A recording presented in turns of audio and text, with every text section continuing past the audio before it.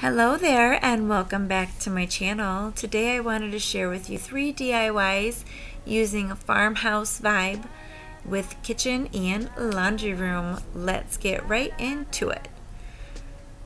This first project I wanted to share with you, so easy. I printed off this SVG off the printer onto a regular piece of paper and this cutting board is from the Dollar Tree of course. And you see me pushing the bottom where the circles are the rubber circles to keep it from scratching the counters or the tables. I push down on there just to see where I want to poke the holes in the future. So here I am cutting slicing it down to size so that it will fit perfectly onto the cutting board. Here I am using my little, it looks like a little dental toothpick type tool. This is my Cricut tool. I love this tool. It's for weeding. I really liked using this tool to make the cuts around the rubber circles. I was going to use my X-Acto knife, but I found that this was the perfect tool to use. So I did each corner and then I took the Mod Podge and generously painted the bottom of this. Then I carefully place the piece of paper on top of the cutting board and carefully without ripping I know that it's fast, so it looks like I'm being very quick about it, but be very gentle with it as you're putting it on. Once you have carefully got all the bubbles and made it nice and flat, then you will take another coat of Mod Podge and generously cover that up. It does say on the bottle that it takes about 28 days to curate, so that's how long uh, it could be until it looks perfect. But all in all, nice and easy project for the kitchen. This is another DIY for the kitchen. I have seen the little plates with the spoons and the forks around. I've always wanted to make one, so I was really excited that you can just grab a few things from the Dollar Tree and it is so cheap.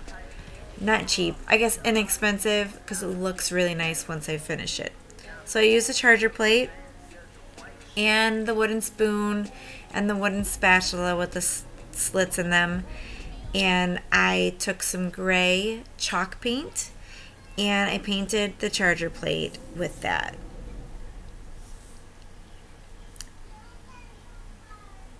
I did one coat and then I think I went over it again once more uh, if there were any spots that I didn't like.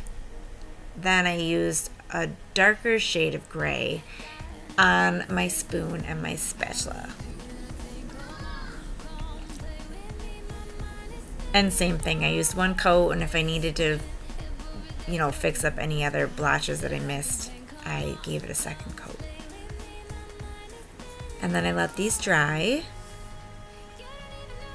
And then in advance, I found this image on Google, I believe.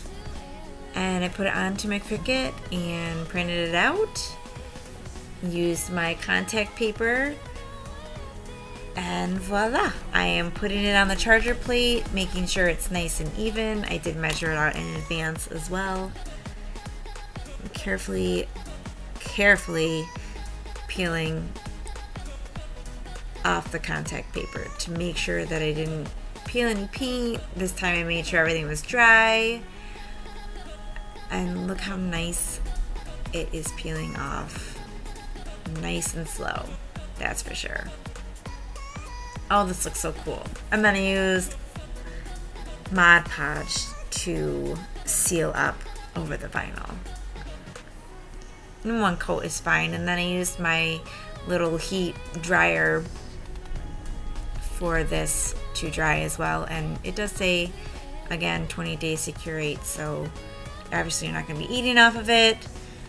You should be fine to hang it up and not worry about it for a month.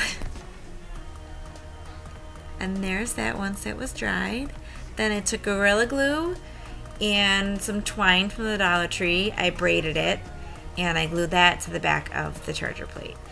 Once that was dry, I then turned it back over and for some reason I cannot find the footage of me gluing the spoon and the spatula on, but that is what I did and that is what it looks like all finished. I also added a bow. There is a video on my channel of how to do that as well. Look how cute for your kitchen. Love it. Beautiful farmhouse style decor. And then the last video is this laundry room sign.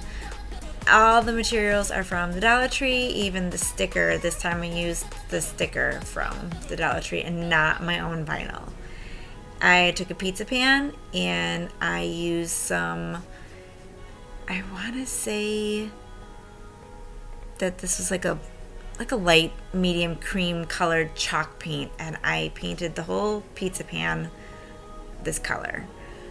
I did do a second coat of this so that the silver did not show through. And then once that was all completely dried, I then peeled the sticker from the Dollar Tree. It's so cute. This is laundry room and then it talks about folding and drying and ironing and it's quite hilarious. So I'm definitely going to put this in my laundry room. And I measured it out nicely so that it's not crooked. And that R kept giving me such trouble. And this time I did make sure that the paint was completely dry so that I wasn't peeling off any paint as I went. Once you stick that down nice and easy, making sure it is all measured correctly and straight. There it is. I then put a coat of Mod Podge on this as well. I also used my little heat dryer to dry this a little bit and I added a bow from the Dollar Tree. The ribbon that I used was from there and I also have a tutorial on how to make that bow. But there you go beautiful, easy farmhouse ideas for some decor in your house. I love how these came out. I hope that you enjoyed as well. Thank you so much. Please be sure to subscribe, like, and share, and I'll see you next time. Bye.